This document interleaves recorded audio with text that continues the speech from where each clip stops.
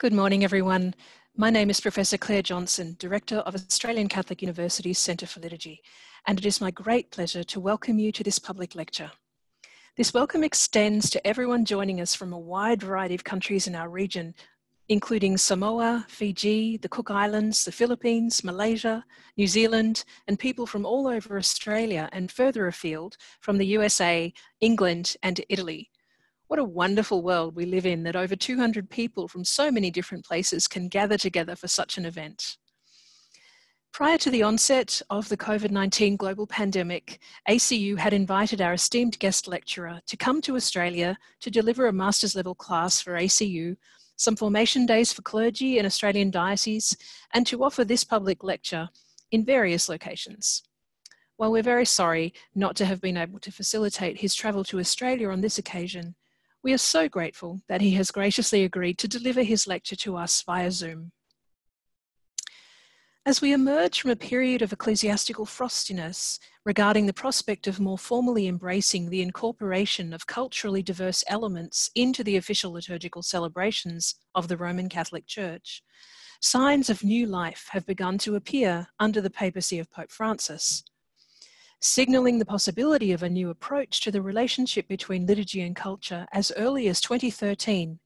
In Evangelii Gaudium 27, Pope Francis said, I dream of a missionary option, that is, a missionary impulse capable of transforming everything so that the church's customs, ways of doing things, times and schedules, language and structures can be suitably channeled for the evangelization of today's world rather than for his her self preservation.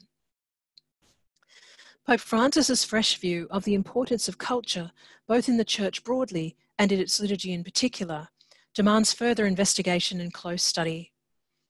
And we have with us today someone eminently capable of providing great insights into what the future of the liturgy culture dynamic under Pope Francis might be. So now it is my privilege to formally introduce our distinguished guest lecturer, Reverend Professor Mark R. Francis, CSV. A diverse background in ministerial formation and teaching in many different cultural contexts has enriched and expanded Mark Francis's distinguished academic career. His time as chaplain and formation director in Bogota, Colombia, as a newly ordained priest, provided rich experiences which shaped his view on the importance of understanding and exploring the link between liturgy and diverse cultures. Mark's innate understanding of the nature of liturgical prayer grew during his time as a member of the Revision and Translation Subcommittee of the International Commission on English in the Liturgy from 1992 to 2000. And his understanding of the nature of diverse cultures expanded further during his time as International Superior General of his religious order, the Clerics of St. Viator or the Viatorians. Since 2013, Mark has been leading the Catholic Theological Union at Chicago as its president, while continuing to teach, research, and publish in his various areas of expertise liturgy and culture, multicultural liturgies, and more recently, intercultural liturgies. And now, with virtual applause, as he joins us live from Chicago, where it is Sunday night, I invite you to join me in welcoming Professor Mark Francis to deliver his lecture titled The Challenge of Intercultural Liturgy in the Era of Pope Francis. Welcome, Mark. But in the change of an epoch. The old structures that shored up what we thought it meant to be Catholic have grown increasingly weaker and in some cases have fallen away altogether. I don't need to tell you in Australia or in other places in the world about the soul searching and reevaluation that have been done recently regarding very basic questions about the nature of the church and how it should function, all provoked by the clerical sexual abuse crisis. Just the title of the report commissioned by the Australian bishops the light from the Southern Cross promoting co-responsible governance in the Catholic Church in Australia could not have been imaginable even 10 years ago. At no time since the Second Vatican Council have issues such as decentralization, shared governance uh, in church matters, and a critique of clericalism been on the table as they are today. In large part, this change has taken place because of the extraordinary shift in emphasis in thinking about the church brought on by the new seven year pontificate of, of, Pope Francis. This change has necessarily refocused our approach to liturgy, since a good way of understanding liturgy itself is enacted ecclesiology. How we worship, we believe we are expressing the church. While there are many facets of this change, I'll, I'll, focus on the way Pope Francis has promoted a new liturgical era, not only through his official pronouncements, but perhaps even more importantly, through his use of dramatic symbols that communicate a new vision for the church in our globalized world. In some ways, though, this is surprising. After all, Jorge Bergoglio, Pope Francis, is a Jesuit. I don't know if we have any Jesuits with us here tonight, but don't worry, I won't be too, too critical. But, and Jesuits, though, are not known for the liturgical focus. While there are many very accomplished Jesuits trained in the field of liturgy, the Company of Jesus as a whole has never seen liturgy as a distinctive part of its charism. About 20 years ago, I was invited to be an honorary member of the Jesuits' Jungmann Society, named after the great Jesuit liturgical historian Joseph Jungmann. At the time, I was superior general of my religious community, and at a meeting with other superiors general, Father Hans Peter Kolvenbach, the late Jesuit Father General, known for his very wry sense of humor, was also present. I mentioned to him that I had been asked to join this Jesuit liturgical group. And with a mischievous grin, he said, Ah, yes, a Jesuit liturgical group. Sounds kind of oxymoronic, doesn't it? Now, the late Bob Taft, the eminent Jesuit scholar of Eastern liturgies, even used this quip as a title for an article in Worship magazine Jesuit Liturgy, an oxymoron? But in order to appreciate the real shift that has taken place under Pope Francis in the way that the current magisterium is dealing with the relationship of culture and liturgy, it's helpful to look at the way curia authorities in the preceding two pontificates uh, regarded liturgical renewal. In many ways, they reverted to a preconciliar understanding of worship as essentially ceremonies governed more by rubrics than by the human context in which they are celebrated. This attitude went hand in hand with a turn toward a centralization of control over liturgy by the Roman Congregation for Divine Worship and Discipline of the Sacraments. Prior to Vatican II, the so-called Tridentine liturgy was regulated by the central authority of the Roman Curia, and for example, the Roman Missal, promulgated by Pope Pius V in 1570, established exactly how the Mass of the Roman Rite was to be celebrated through detailed rubrics enforced under pain of sin.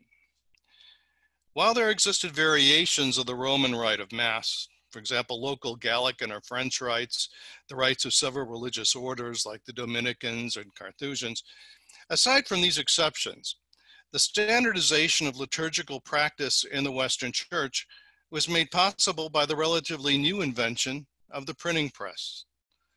Some of you more mature Catholics, I say more mature now rather than old. I'm trying to get diplomatic in my old age. Uh, so some of you more mature Catholics will remember that with pride, Catholics used to say that you could go anywhere in the world and the Mass would be celebrated exactly the same way, modeling a unity of belief and communion that extended around the globe. But this was true only up to a point. While the words and ritual gestures of the priest and servers were meticulously prescribed, what surrounded the central core of the celebration? Music, architecture, popular religious custom. Varied greatly from place to place. Nonetheless, prior to Vatican II, liturgical unity, at least as it's concerned, uh, as it concerned the clerical celebrants, was considered an absolute value that was enforced by Roman authority because it represented orthodoxy and ecclesial unity. With the promulgation in 1963 of Sacrosanctum Concilium, the Constitution on the Sacred Liturgy, unity was no longer linked to uniformity. And this is in Article 37 of the Constitution. Local cultural liturgical differences were now recognized as not only permitted, but an important way of helping to make the celebration accessible to people of a bewildering variety of cultures that make up the world church, to use a phrase coined by Karl Rahner. The Constitution authorized legitimate variation and adaptation of a simplified Roman Missal to different groups, regions, and peoples, provided the substantial unity of the Roman Rite was preserved. The Constitution gave the responsibility for translations of the liturgy from the Latin Editio Typica to the vernacular. They gave this responsibility to the national bishops' conferences. But immediately after the promulgation of the uh, Liturgy Constitution, forces in the Roman Curia were already at work to wrest back control over the liturgy from local bishops' conferences. The Motu Proprio Sacram Liturgiam of January the 30th, 1964, in part prepared by the Roman Congregation for Rites, appeared in Osservatore Romano and specified, in contradiction to the Constitution on the Sacred Liturgy, that the Roman Curia has the authority to approve, not just confirm, liturgical translations, Within days, the French bishops sent a strong letter to the Consilium, the, the, group charged with implementing the liturgical changes of Vatican II, protesting this departure from the intention of the bishops of Vatican II and the Liturgy Constitution. But this move was to herald the beginning of the Roman Curia's ongoing attempts to undo the decentralizing structural reforms set forth in the documents of the Second Vatican Council. The battle would last up to the present day and Pope Francis's pontificate. The details of the first part of this sad story are recounted in 2007 by Archbishop Piero Marini in his book on the early period of liturgical renewal after the council called A Challenging Reform. I had the privilege of being one of the English editors for the English version of this book and uh, it was an eye opener, especially the uh, the independent letters from uh, national bishops' conferences to uh, to the Vatican at this time. Now, despite the unease with the decentralization set in motion by the Council on the part of curial officials, important experiences of inculturation were launched in the 1970s and 1980s during the pontificate of Paul VI and the early years of John Paul II's pontificate. One of the most notable efforts at liturgical inculturation since the Council was the adaptation of the Roman Rite of Mass for the Diocese of Zaire, today's Democratic Republic of the Congo. This particular version of the Roman Rite was proposed to the Holy See after extensive study by pastors, theologians, and anthropologists, and experimentations began in 1969, and this variation on the Roman Rite was finally approved by 1988, in 1988 by the Congregation for Worship in Rome. The call for cultural adaptation of the liturgy enunciated by Vatican II was enthusiastically embraced in India as well, soon after the end of the Council. In, 1966 and 1967, the Catholic Bishops' Conference of India set the liturgical reform in motion by establishing the National Biblical, Catechetical, and Liturgical Center. The center produced a proposal for areas of liturgical inculturation that were endorsed by the Indian bishops, who then sent the document that was approved, then approved by the Consilium. In the Philippines, led by Father Anscar Chupungco, uh, a Filipino, uh, Benedictine. He later became the, uh, uh, the, president of San Anselmo and my mentor. Uh, in, uh, in this Filipino expression of the Roman Rite was developed called the Missa na Bayang Filipino. After several years of work on this project that involved liturgists, theologians, pastors, sociologists, cultural anthropologists, and experts in linguistics. The Missa na Bayang Filipino was reviewed by an ad hoc committee of bishops, and in 1976, it was unanimously approved by the Conference of Catholic Bishops of the Philippines and submitted for confirmation to the Congregation for Divine Worship. To date, however, no approval has been forthcoming. It's languished on the desk of the Vatican since 1976. In 1994, the Roman Congregation for Worship issued the instruction, The Roman Rite and Inculturation, Latin title is Varietates Legitimae, interpret, interpreting Sacrosanctum Concilium 37 and to 40, and further specifies the nature of liturgical inculturation. This document defines inculturation, and I quote, as an intimate transformation of authentic cultural values by their integration into Christianity and the implantation of Christianity into different human cultures. And the document insisted that the word inculturation is more appropriate than the word adaptation for this transformation. But in a move that seems to reflect the real hesitation on the part of the Roman authorities regarding inculturation, the document itself, this Varietates Legitimae, reverts to speaking about adaptation rather than inculturation in the last section that offers little more than superficial examples of the various facets of the liturgy that could be the object of inculturation. There's always two minds expressed in Roman documents, and you can read them in between in, in between the various lines. What they give in one hand, sometimes they take away with the other. Now, this hesitancy and even reticence to inculturation only grew stronger in the 1990s and the 2000s. The Roman Curia's rejection of the 1998 translation of the Missal by the International Commission on English and the Liturgy, ICEL. Uh, now, this was a translation in, in, full uh, uh, revelation here. I was part of this translation.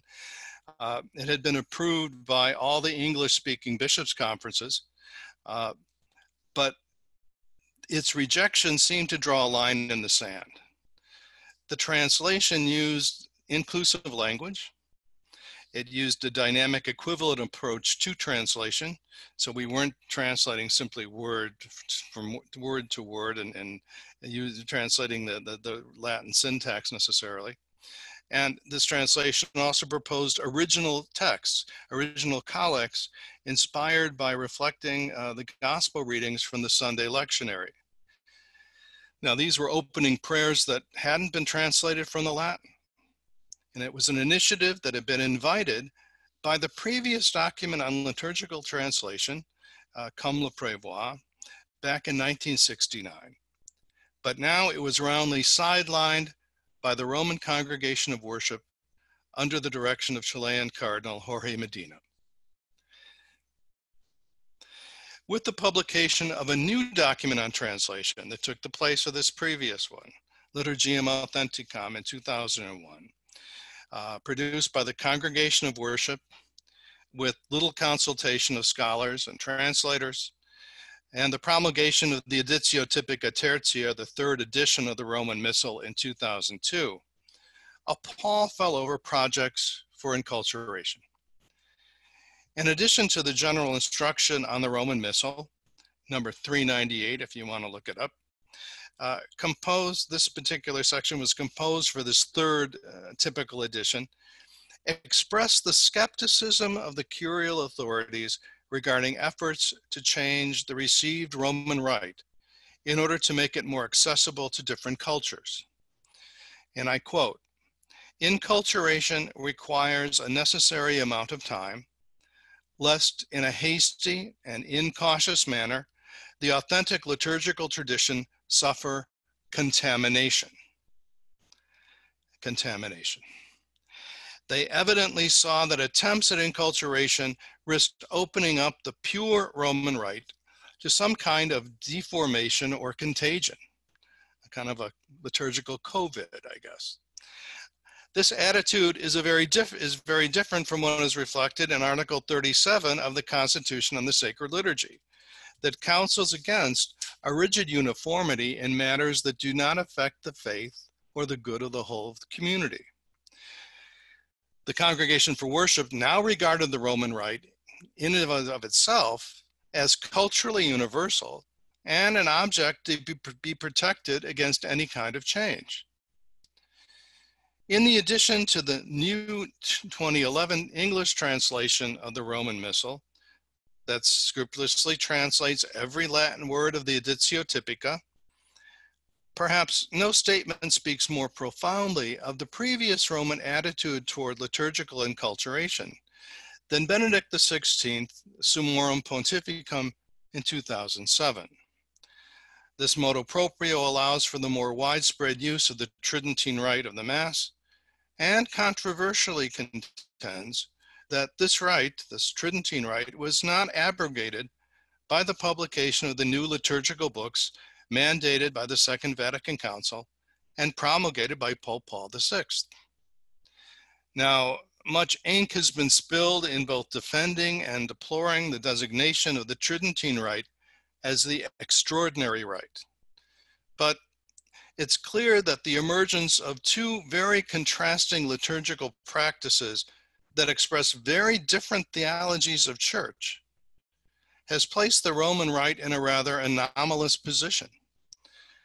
It's also encouraged a mentality that wishes to turn back the clock to before the reforms of the Second Vatican Council, restoring liturgical celebrations more reflective of the 16th than the 21st century. It was into this atmosphere of liturgical confusion and stagnation that Pope Francis came on the scene. It's well known that Pope Francis speaks through symbolic gestures. One of the first indications that business as usual was coming to an end uh, with this new Pope was at his initial appearance on the loggia of St. Peter's Basilica when he bowed to the throng assembled in the square and asked them to bless him. Rather than the traditional and hierarchical one way blessing of the Pope to the world, his humble request for the people's blessing first spoke of a mutuality and respect of the current pontiff for the everyday Christian believers. And in Spanish, he reverts to this phrase constantly the pueblo santo y fiel, the holy and faithful common people. Now, even before this moment, the so, in the so-called Room of Tears adjoining the Sistine Chapel, uh, when being dressed for the first time by the papal master of ceremonies in the white papal cassock, Francis was offered the mozzetta, a short red cape, and you can see them on the slide there, and uh, a elaborate stole, along with the traditional red shoes. You can see those at the bottom of the slide. Uh, they, they, supposedly were, were made by Prada. I'm not sure if that's true, but that's supposedly. Now, this may be an apocryphal story, but there were reports that he turned down these vestments with the phrase, Il carnevale è finito. Mardi Gras is over. While he did wear the stole later when giving the solemn blessing to the people, he reputedly was making the point that this papacy was going to be simpler, less Baroque than that of his predecessor. His choice to live in the Casa Santa Marta in a simple suite of rooms, taking his meals in the dining room with other residents rather than in the apostolic palace illustrated his desire to do away with the Renaissance court that had traditionally surrounded the Pope. I remember Cardinal Tagle telling me the story that he was visiting Santa Marta and he was there in the in the in the cafeteria dining room kind of thing and, and there and there he saw the Pope all alone at a table. And so he said, Well, no one wants to sit with him. This is kind of sick. Because no one knew what to do because it was a new kind of thing. So he got up from the table and he went over and said, uh, Holy Father, may I join you for dinner? And he looked up and he said, Of course, Holy Son, sit down. This is a whole different attitude than, than had been uh, prevalent before. Now, his preference from the beginning of his time as Pope to be driven around Rome, not in the usual Mercedes sedan, but in a Ford Focus, also underlines the new, simpler, more humble image he wants to project. These choices, pardon me, these choices speak volumes and were an indication of a decided change of atmosphere that would also be expressed by means of his liturgical style. Now, I, I have here a car. Uh, I, I, lived in Rome for 12 years, so these are kinds of things you, you learn. And here, this is a car. This is a Mercedes Benz. You see on the slide, and it has license plates. And you know right away that, the, that it's from the Vatican. And you know that because the license plate begins SCV, which stands for Stato Città del Vaticano, the Vatican City State. Now, Romans who are world weary and have seen it all say, no, it really doesn't mean uh, Stato Città del Vaticano. What it really means is, se Cristo videsse, if Christ could see this. I'd like to share with you a very short video here. The sound isn't that important, but it was from the early part of Pope's uh, pontificate. He was visiting the south, southern part of Italy, a place called Sibari, and uh, people lined the, they knew he was coming by in his Ford Focus, and people lined the streets. And this was something that was an extraordinary experience that kind of harked back to uh, who the Italians call it Papa Buono, Pope John the 23rd. But I'll just, I'll, I won't comment on it. I'll just let you watch it.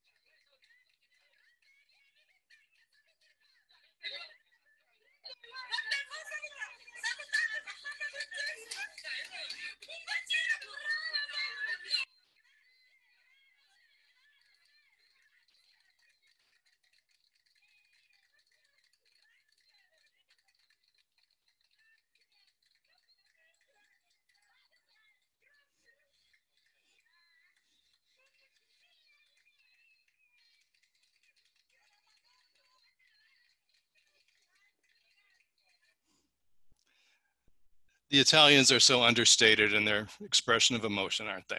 Anyway, uh, the first Holy Week that the Pope celebrated uh, in Rome as Pope, uh, as Pope Francis, uh, on Monday, thir- Monday, Thursday, he decided to preside at Mass at the Casal del Marmo, a ju- juvenile deten- detention center, rather than at St. John Lateran. There, he washed and kissed, kissed the feet of 12 young detainees, among whom was a Muslim girl. The fact that he elected to celebrate this Mass outside the cathedral and wash the feet of both men and women, as well as non Catholics, was hailed by many as an inspiring outreach to those on the margins and an attempt to be more inclusive or intercultural.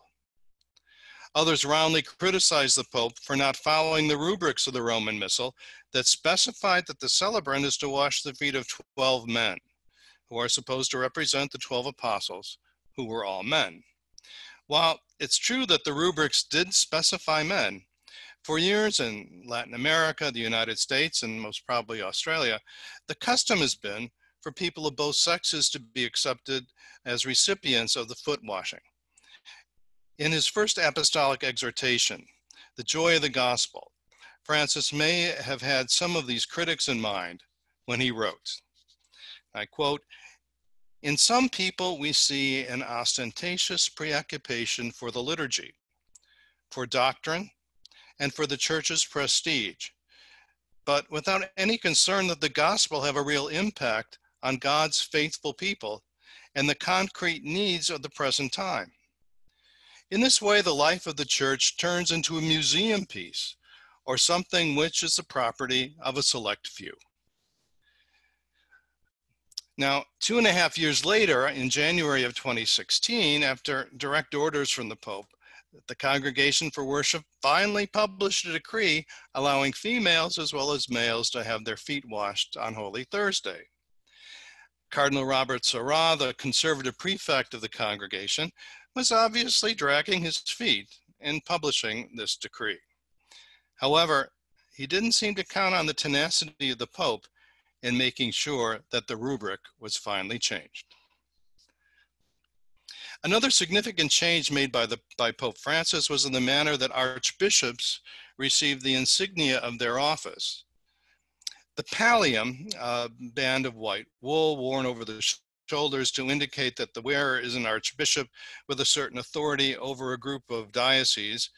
Uh, he's the metropolitan of it, called technically a metropolitan of an ecclesiastical province. Uh, in the past, the, the pallia or palliums were blessed and personally placed by the Pope on the shoulders of the new archbishops on the feasts of Peter and Paul, June the 29th in Rome. In 2014, Pope Francis changed the procedure. Rather than placing it on the shoulders of each archbishop, he now simply blesses the pallium, palliums and presents them to each prelate for them to take back to their archdiocese and have it conferred on them by the apostolic nuncio. This change is significant because it emphasizes that they are exercising their authority locally.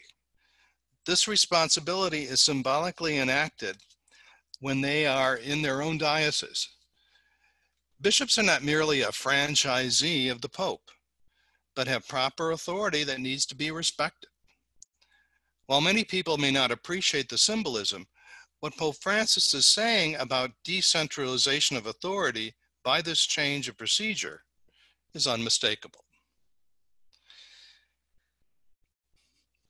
And in a clear and forceful talk given to the participants during the 68th National Italian Liturgical Week on August 24, 2017, Pope Francis unequivocally affirmed his support for the changes in the liturgy set in motion by Vatican II.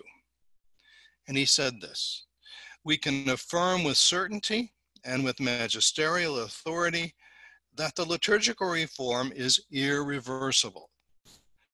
Ten days later, in the motu proprio magnum principium, dated September the 3rd, 2017, the Pope explicitly legislated what the conciliar bishops at Vatican II outlined in paragraph 36 of the Constitution on the Sacred Liturgy. In other words, that the national bishops' conferences were to be primarily responsible for liturgical translations. Both of these documents, one pastoral and the other legal, show beyond any doubt Pope Francis's support for the renewed vision of the Church found in the Council's documents and enacted in the Reformed liturgy. As we discussed earlier, the Council's move to decentralize liturgical authority, placing responsibility for producing translations of the Editiones Typicae in vernacular languages to national bishops' conferences, was opposed by forces in the Roman Congregation for Worship in 1964. This opposition only became more entrenched with the issuance of Litur Liturgiam Authenticam in 2001 and the publication of the third edition of the Roman Missal. But in both his speech, his speech to the liturgical week's participants and in his motu proprio, the Pope has restored the Council's original intention to decentralize control over the liturgy that had been thwarted since 1964. In this context of controversy, Pope Francis makes clear the abiding importance of the liturgical reforms of Vatican II, at one moment to a group of pastoral liturgists, and then to the whole church in the form of a motu proprio reaffirming a crucial element of this reform. To the liturgists, he makes clear that two inextricably related events, the council and the liturgical reform did not unexpectedly arise, but were prepared over a long period of time. Interestingly, the Holy Father describes this preparation before the Council as a kind of dialogue between the liturgical movement and the popes of the 20th century. He noted that it was a liturgical movement that had pointed out the disagi or the problems encountered in the prayer of the church, and that the popes had provided answers or set in motion solution to these problems. These actions, states Pope Francis, enabled the Constitution on the Sacred Liturgy to, quote, respond to the real needs and to the concrete hope of renewal, and produce a living liturgy for a church made completely alive by the mysteries celebrated, unquote. It is in this context that he speaks of the church at prayer, bringing together all those who attentively listen to the gospel without excluding anyone the small and the great, the rich and the poor, young and the old, healthy and sick, and the just and sinners. It is also for this reason that since the liturgy brings together the entire people of God, popular religious practices must also be respected. Rather than being an elite activity, the liturgy needs to be able to welcome the practice of popular piety. Taking up this theme, explained in greater length in Evangelii Gaudium, Pope Francis urges we ought not to forget that it is especially for the liturgy to express the pietas, or the piety, of all the people of God, prolonged then by the pious exercises and devotions, that we know with the, same, the name popular piety to be valued and encouraged in harmony with the liturgy.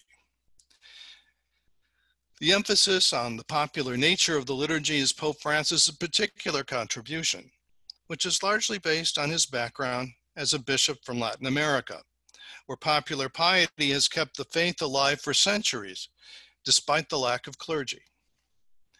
His sensitivity to popular piety helps to balance the unease uh, members of the liturgical movement offer, often expressed in regard to popular devotions, which were considered by them too individualistic and uncomfortably uh, close to superstition. While the Constitution on the Liturgy, number 13, insisted that devotions should be so fashioned that they harmonize with the liturgical seasons, accord with the sacred liturgy, and are in some way derived from it and lead people to it, since in fact the liturgy by its very nature surpasses any of them, local bishops have always realized the importance of popular piety, especially in Latin America. The 1994 instruction from the Congregation for Divine Worship on liturgical inculturation, uh, the Varietates Legitimae, seemed to establish, though, a wall that could not be crossed between popular devotions and liturgy. The congregation's 2002 Directory on Popular Piety and the Liturgy, while more positive as to the influence of popular piety, maintains what it considered a clear division between what is liturgical or official and what is popular piety, unofficial. But this, suppo- this supposed clear division is not always easy to see. In the years after the council, especially in the declarations of the Latin American Bishops' Conferences, CELAM, the topic of popular piety was treated much more sympathetically. Because of his conviction that the faith is expressed by the holy, faithful people of God in a way that larger, the larger church needs to consider more seriously, Pope Francis envisions a more symbiotic relationship between popular religious practice and the liturgy. It is this relationship that opens the door to inculturation. It is also this kind of relationship that can be best judged by national bishops' conferences rather than by curial officials in Rome. And the Pope wrote that popular piety enables us to see how the faith, once received, becomes embodied in a culture and is constantly passed on. Once looked down upon, popular piety came to be appreciated once more in the decades following the council. This is what he wrote in Evangelii Gaudium. Now, with characteristic humility, the Pope introduces his post-synodal exhortation, Querida Amazonia, uh, as simply a presentation of the final document of the Synod on the Amazon. And he encourages people to read that, that, that final uh, synodal document. And he writes, this, this document profited from the participation of many people who know better than myself or the Roman Curia the problems and issues of the Amazon region. Unquote. The Holy Father is alluding here to the extraordinary way this particular synod was prepared. And it's a way that reflects this new vision of church the Pope is proposing. The working document or instrumentum laboris for the Amazon Synod is the fruit of an amazing amount of consultation through the, uh, uh the called the thing called the, uh, the REPAM, the Red Eclesial Panamazonica. It's an organization uh, of all of the countries in the Amazon region. The church's network uh, that promotes the rights and dignity of people living in the Amazon. Nine countries belong to this network. Bolivia, Brazil, Colombia, Ecuador, French Guiana, Guyana, Peru, Suriname, and Venezuela. These consultations got underway just after Pope Francis's announcement of the Synod uh, at his 2017 visit to a place called Puerto Maldonado in Peru.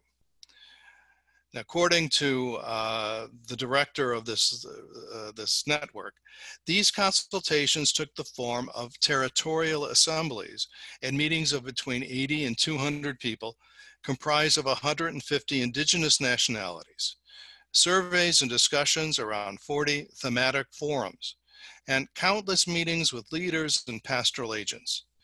It's been estimated that in all, some 64,000 people were consulted, including almost all the bishops in the Amazon. This represents an unprecedented con uh, consultation for a bishop synod that for the first time intentionally included the Pueblo Santo y Fiel, the holy common people of God the grassroots people so dear to the Pope's heart. Now, during the course of the Synod, the Pope obviously listened.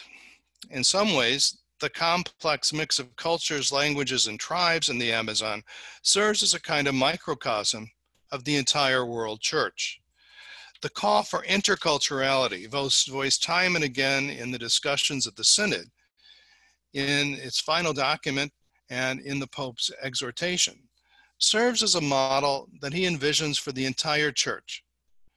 Just as the various cultures of the Amazon, each with its distinct genius and history, are called upon to be in dialogue with one another and learn from each other how they have particularly inculturated the gospel.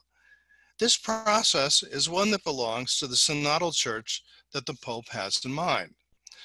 While attentive to the traditions brought by missionaries in past centuries, the variegated and culturally rich region has been invited to explore a process of making the gospel accessible to its people through church structures and liturgical celebrations that also spring from the local culture.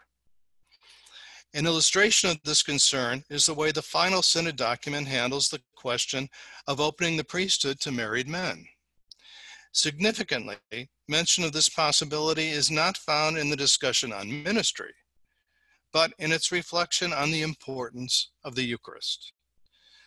Due to the vast open territories in the Amazon and the lack of priests, it is not unusual for smaller communities to be deprived of the Eucharist for months, even years. The document makes a call to come to a solution to this problem since Christian communities have a right to the Eucharist because its celebration constitutes an essential characteristic of being church. After careful acknowledgement of the positive aspects of the celibate priesthood in the Latin Church, this final synod document calls for the ordination of suitable and respected men of the community with a legitimately constituted and stable family who have had a fruitful permanent diaconate. In his reflection on this topic, later in his own exhortation, the hmm. Pope places the real problem of the lack of priests in the context of the Eucharist, much like the final document did. And he wrote, in the specific circumstances of the Amazon region, particularly in its forests and more remote places, a way must be found to ensure priestly ministry. The laity can produce God's word, teach, organize communities, celebrate certain sacraments, seek different ways to express popular devotion, and develop the multitude of gifts that the Spirit pours out in their midst.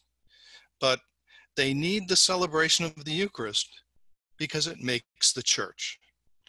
We can even say that no Christian community is built up which does not grow from and hinge on the celebration of the Most Holy Eucharist. If we are truly convinced that this is the case, then every effort should be made to ensure that the Amazonian peoples do not lack this food of new life and the sacrament of forgiveness. So it's subtle what he's doing here, but very clear.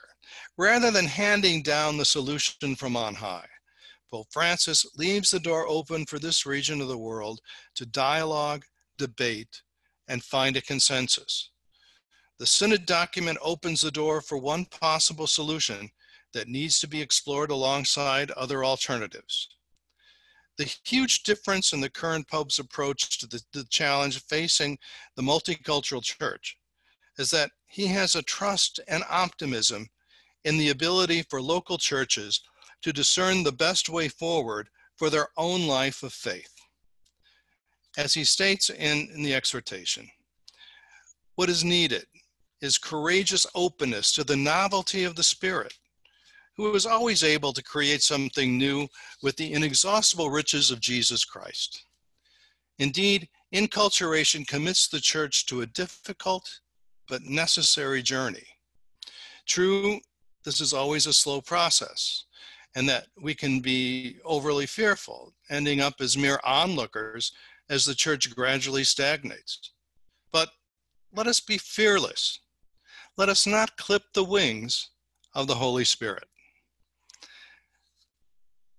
Now, some may remember the controversy over an image of a pregnant woman that was used in prayer during services during the Synod and placed in a Roman church. The statue itself, a naked pregnant woman that was referred to as the Pachamama, uh, an Andean image of life, Mother Earth, brought to Rome by the participants in the Synod, uh, this image, of course, was immediately condemned by Roman Catholic traditionalists who saw in it a pagan idol. It aroused such a reaction that uh, these images, there are several of them, were stolen from the church by Orthodox vigilantes and thrown in the Tiber. Pope Francis apologized for this lack of sensitivity after these carvings were found and restored to the church. In his exhortation after the synod, the Pope aware of how even religious symbols can be interpreted differently from one culture to another, perceptively wrote, let us not be quick to describe as superstition or paganism certain religious practices that arise spontaneous, spontaneously from the life of peoples. Rather, we ought to know how to distinguish the weed growing among the tares. For popular piety can enable us to see how the faith, once received, becomes embodied in a culture and is constantly passed on. Now, the change of an epoch in which we're living, discerned by Pope Francis and now influencing Catholic attitudes toward evangelization, tradition, and the liturgical expression of faith, has opened even more widely the doors and windows of the church that had first been pried open by the Second Vatican Council. The possibility of local Christians in concert with the global church to seek to express their own life of faith using their own cultural values and symbols is being encouraged by Pope Francis.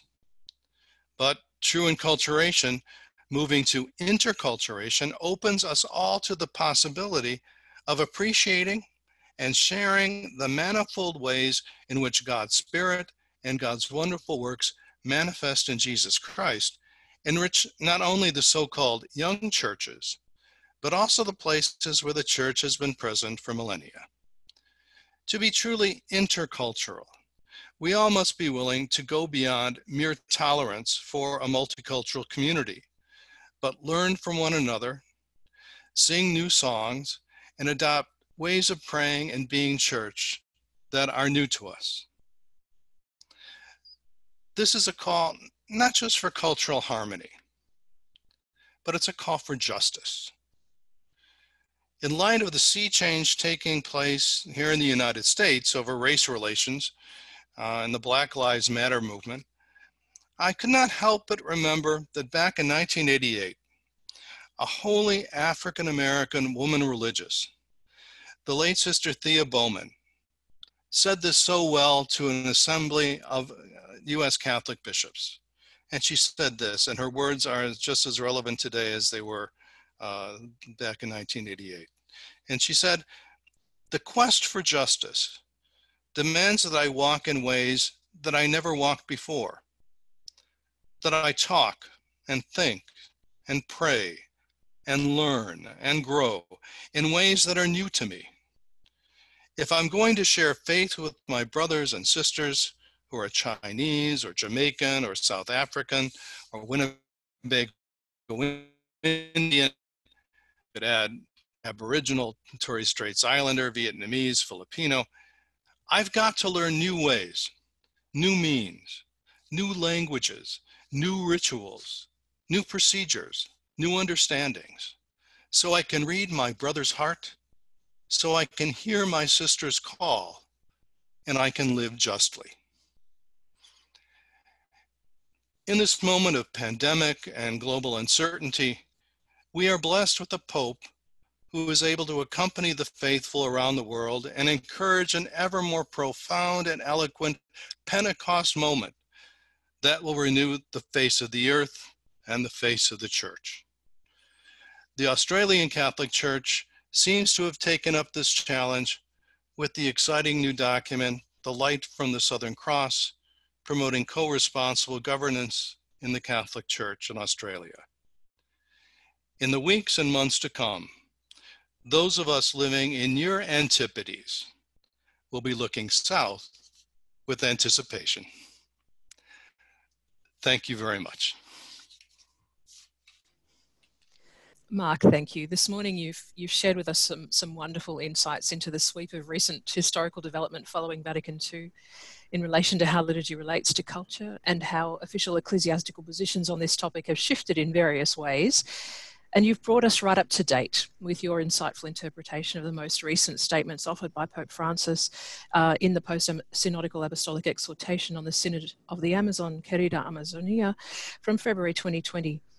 You have beautifully broken open Pope Francis's approach to dialogue, debate, and development in today's church, and noted particularly that this comes from his position of trust and openness toward the current realities of today's world and the need for inculturation as evangelization today. In exploring the nature of intercultural liturgy, you've provide us, provided us with hope um, re regarding the positive prospect of the full flowering of liturgical inculturation as it was envisaged, envisaged by the Second Vatican Council almost 60 years ago now. Thank you for generously sharing your wisdom and understanding with us today. We are most grateful. Um, I invite everybody to join me in please saying thank you to Mark in various ways virtually. We can see lots of applause going on. Thank you to everybody who has joined us today. It has been our privilege to have you join us. Um, we hope that we'll be able to offer more such opportunities in the future. Um, and we wish you all the very best in our current trying circumstances. Mark, thank you so much. Thank to all, thanks to all of you, and God bless you and your ministries. Thank you. Thank you.